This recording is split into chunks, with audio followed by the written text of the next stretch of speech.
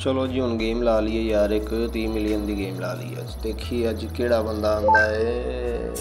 ਰੋਡਰੀਗੋ 169 rank ਉਹ rank ਤੇ ਦਾ ਬਹੁਤ ਵੱਡਾ ਯਾਰ, ਕਿਤੇ ਖਾ ਪੀ ਨਾ ਜਾਏ ਮੈਨੂੰ।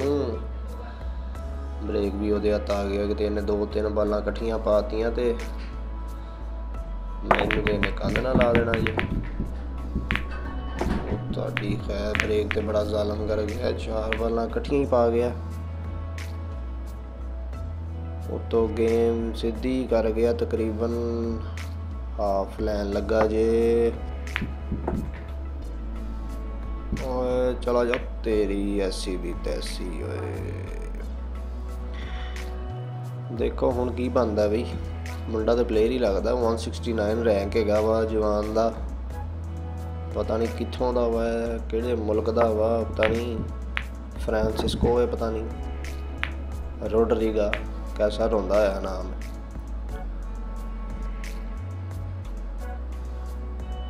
ਚਾਰ ਬਾਲਾਂ ਮੁੰਡੇ ਦੀਆਂ ਰਹਿ ਗਈਆਂ ਨੇ। ਦੇਖੋ ਹੁਣ। ਲੋ ਜੀ, ਬਾਲ ਬਣ ਗਈ ਜੀ। ਕੈਸੀ ਫਸੀ ਸੀ, ਇੱਕ ਇਹਨਾਂ ਨੇ ਗੁੱਡ ਲੱਕ ਹੋ ਗਈ ਹੈ ਭਾਈ ਜੀ, ਉਹਦੀ ਬੜੀ ਜ਼ਬਰਦਸਤ ਕਿਸਮ ਦੀ। ਉਹ ਬਾਲ ਵੀ ਚਲਾ ਗਿਆ ਲੋ ਜੀ। ਬੈਡ ਲੱਗ ਉਹਦੀ ਹੋ ਗਈ ਹੈ ਤੇ ਗੁੱਡ ਲੱਗ ਹੋ ਗਈ ਚਾਂਸ ਆ ਗਿਆ ਕਿ ਬੜਾ ਜ਼ਬਰਦਸਤ ਕਿਸਮ ਦਾ ਮੇਰੇ ਕੋਲ। ਚੱਲ ਵੀ ਅਹਿਮਦ, ਪਾ ਦੇ ਸਾਰੀਆਂ ਇੱਥੇ ਜਵਾਨਾਂ। ਸ਼ਗੜੰਤਮ ਕਰਦੇ ਅੱਜ। ਸ਼ੁਰੂ ਹੋ ਜਾ ਜ਼ਰਾ, ਸ਼ਾਬਾਸ਼।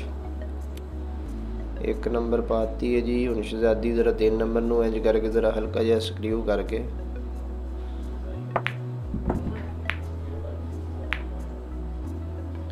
ਸ਼ਹਜ਼ਾਦਾ। ਚੱਲ ਵੀ ਚੱਲ ਜਵਾਨਾ, ਮੈਂ ਕਹਿੰਦਾ 4 ਨੰਬਰ ਨੂੰ ਫਾਲੋ ਮਾਰ ਕੇ ਨਾ ਤੇ ਫੇਰ ਬਣਾਈਏ 2 ਨੰਬਰ। ਲੋ ਜੀ ਗੇਮ ਤੇ ਆਲਮੋਸਟ ਇੱਥੇ ਮੁੱਕ ਚੱਲੀ ਜੇ। ਗੇਮ ਦਾ ਪਾਸਾ ਪਲਟ ਗਿਆ ਜੇ, ਫਾਲੋ ਮਾਰ ਇਹਨੂੰ ਤੇ ਬਾਲ ਘੁਮਾ ਕੇ ਲਿਆ ਥੱਲੇ।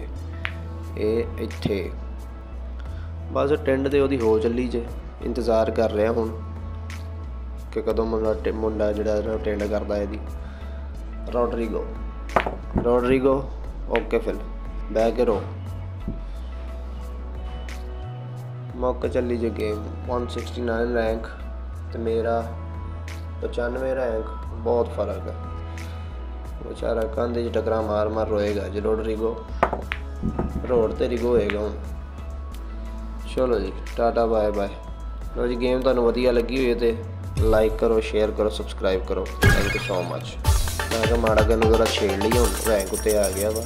ਇਹਨੂੰ ਮੋਜੀ ਮੂਜੀ ਭੇਜ ਕੇ ਜ਼ਰਾ ਛੇੜ ਦਈਏ ਇਹਨੂੰ, ਹਲਕਾ ਜਿਹਾ ਅੱਗ ਲਾ ਦਈਏ। ਕਾਂਟ ਪਲੇ ਰਾਈਟ ਨਾਓ ਕਰ ਗਿਆ ਜੀ ਓਕੇ ਜੀ ਫਿਰ। ਮਿਹਰਬਾਨੀ ਤੁਹਾਡੀ।